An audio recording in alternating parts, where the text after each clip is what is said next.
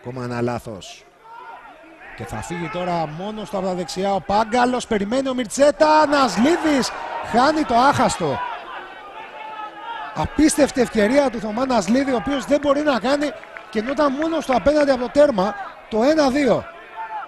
Βλέπουμε ξανά ο Πάγκαλος, έρχεται ο Νασλίδης, δεν υπάρχει περίπτωση offside και δεν μπορεί να πλασάρει ουσιαστικά προκαινής εστίας μιας και δεν νομίζω πως θα μπορούσε να κάνει τίποτα σε αυτή την φάση ο Κασμερίδης. Πολύ μεγάλη χαμένη ευκαιρία για τον ε, Πλατανιά.